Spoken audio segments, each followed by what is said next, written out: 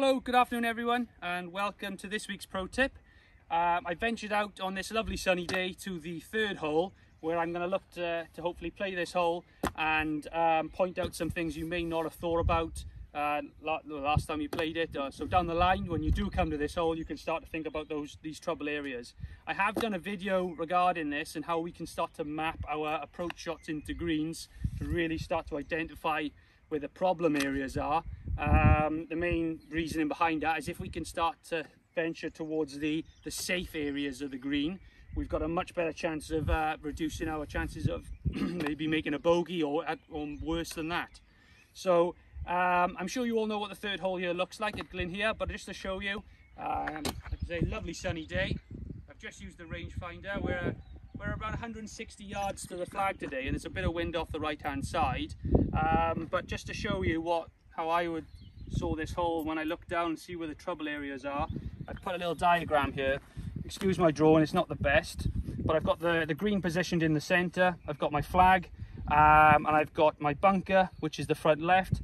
I've got the out of bounds mark right at the back. I've got the bank on the right hand side and then there's this little drop off on the left hand side as well. So I've numbered, one being the, the best place to miss this would be probably short, just short of the green. Two being I can I got a good chance to get up and down from there, obviously with the slope.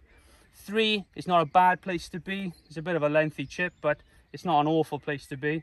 And then four and five, if I'm on this side of the uh, of the green, I have got a bit more of a difficult shot there to to get up and down.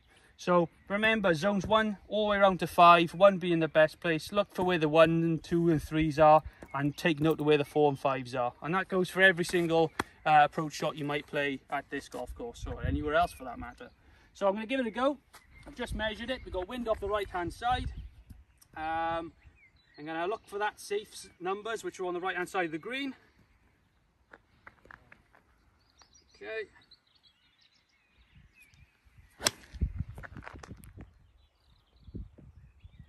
Looking not too bad. Perfect. So we're just on the right hand side of the flag which is where like I spoke about where the safe areas are. So from there I've got a good chance to get down there. I've got a chance for that birdie putt. Um, if not I should be in a good position to make my par. And I haven't put myself in a position which is going to damage my scorecard um, and risk damaging my score at the end.